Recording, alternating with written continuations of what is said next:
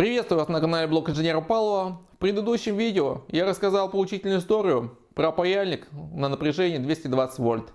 Кто не посмотрел это видео, я рекомендую посмотреть. Ссылка будет в описании этого видео. А сейчас я хочу рассказать про регулятор мощности для паяльника на напряжение 36 вольт, который я использую в своей работе. Этот регулятор мощности был изготовлен еще моим дедом в 90-х годах прошлого века. Сама конструкция данного регулятора мощности взята из э, журнала «Радио» за 1992 год, э, номер 23, страница 23. Ссылка на данный журнал «Радио» будет в описании видео, а в конце видео будет схема регулятора мощности. Для тех же, кто еще пользуется паяльником на 220 вольт, в этом же журнале «Радио» на странице 22 есть схема регулятора мощности для паяльника на 220 вольт.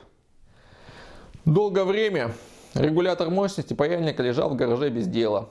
А для питания паяльника на 36 вольт я использовал вот такой трансформатор.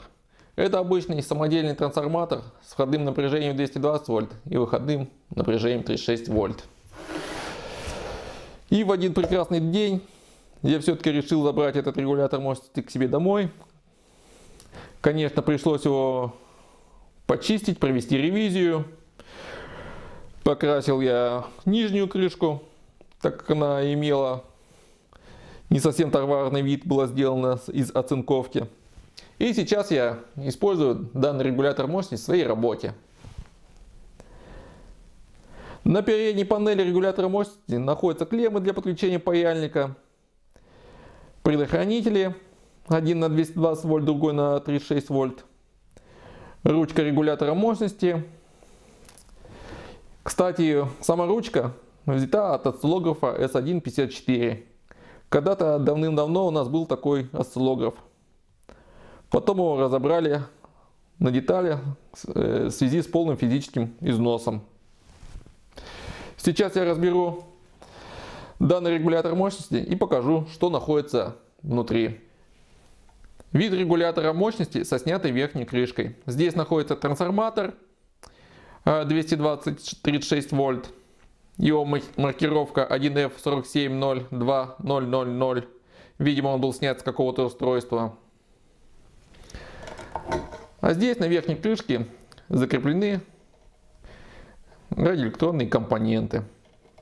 Гнезда, предохранители и переменный резистор. Вид регулятора мощности со снятой нижней крышкой. Здесь находится печатная плата с установленными на ней электронными компонентами. Сама печатная плата изготовлена путем механического нарезания дорожек. В нижней крышке сделаны отверстия для вентиляции.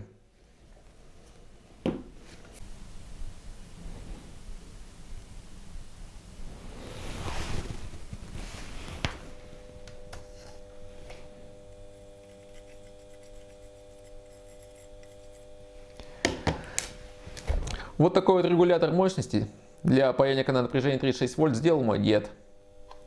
Без всяких наворотов, никаких микроконтроллеров, одна микросхема 176 ла 7 минимум деталей. И все просто и надежно работает. Ну вот и все. Всем спасибо за внимание. Подписывайтесь на канал. И если вам это видео понравилось, ставьте лайки. Всем пока.